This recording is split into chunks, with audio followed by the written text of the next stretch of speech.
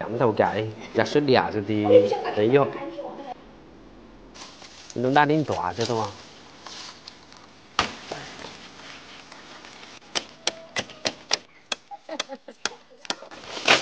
拿过来清洗一下，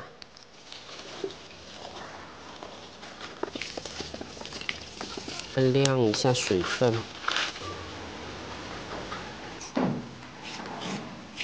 试下。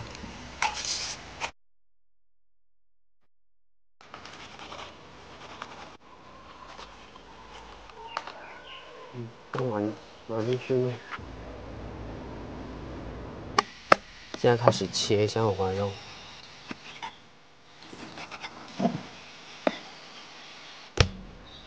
五花肉就已经切好了，现在开始准备腌制。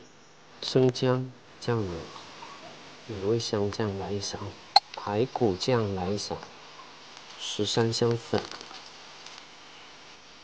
南乳来两块，蚝油。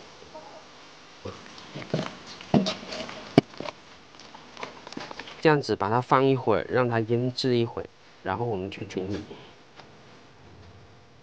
现在就要开始去翻炒我们的大米了。先来上我们的猪油，把这个蒜蓉加进去，炸它。然后再来一碟虾米鱿鱼。这个蒜蓉感觉水分炸的差不多了，再倒入进去。颜色非常好看，而且香味非常浓郁。鱼虾米呢已经炒好了，现在就放三斤的糯米，这洗干净的吗？这个是七斤的一个普通大米，倒进去，加一点盐巴进去调味，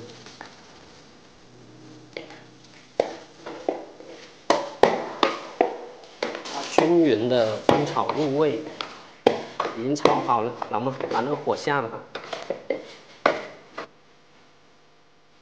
备包这个香粒了，先戴上这个手套。然后把我们炒好的大米，这个塞的差不多有一半了，把这个五花肉塞进去，料是够好的，我要加个蛋黄进去，给它升级这个配料，大概升个一层左右的空间，这样子才能煮得熟，不能撒太满。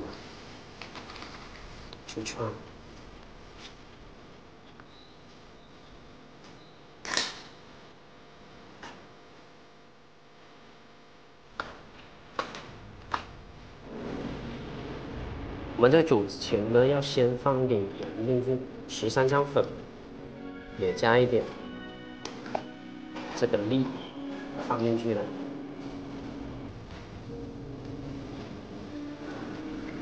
要让它这个水刚好没过这个香粒的一个表面，这样子它瘦肉就会均匀一点。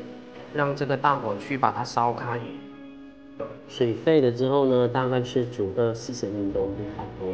如果期间的话，这个水位少了，我们再加水。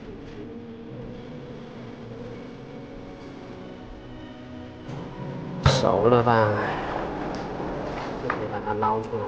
捞出来，放入这个筐里面沥一下水，全部捞出来了，让它沥回水。吃这个沥呢，我们这里有个讲究，就是一定要把它拆开，一根一根的把它拆开，拆开了之后再吃，把它全部解开了，这个是有一定寓意的。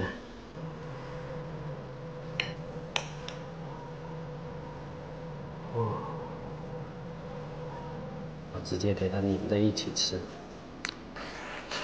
嗯，热乎，要不要钱？